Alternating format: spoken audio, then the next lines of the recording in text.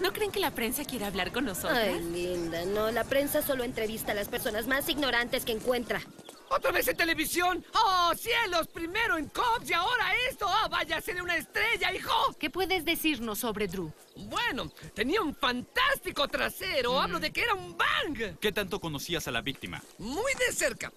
Hasta que menstruó. Luego despertó queriendo presentar cargos, así que solo le lamí el trasero y me fui. ¿Qué te hubiera gustado decirle a Drew?